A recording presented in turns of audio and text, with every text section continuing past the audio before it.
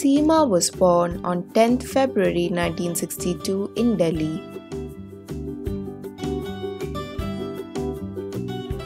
In her childhood, she used to accompany her mother in various stage shows. At the age of 5, Seema auditioned for the first time. She appeared in various stage shows of Akashwani and Doordarshan as a child actor from 1960 to 1970, and in some of the shows, she played the role of a boy.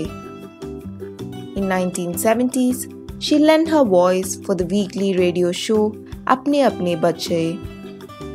She has worked as a theatre artist for various theatre groups like Sambhav Group, LTG, Sri Ram Center, and National School of Drama's Repertory Company. While she was working as a theatre artist with the theatre group Sambhav Group, she met Manoj Pahwa. They both became friends and fell in love with each other. She is married to Manoj Pahwa and lives in Mumbai along with their daughter and son. On 2nd March 2022, her son Mayank Pahwa married Sana Kapoor, daughter of actors Pankaj Kapoor and Supriya Pathak.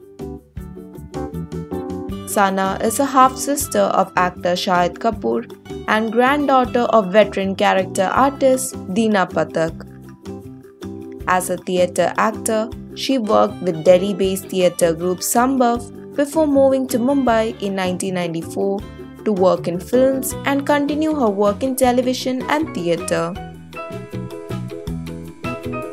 She has started a theatre group Kopal along with her husband Manoj. She made her directional debut with the film Ram Prasad Ki Tervi, which was premiered at Mumbai Film Festival in 2019 followed by a theatrical release in 2021.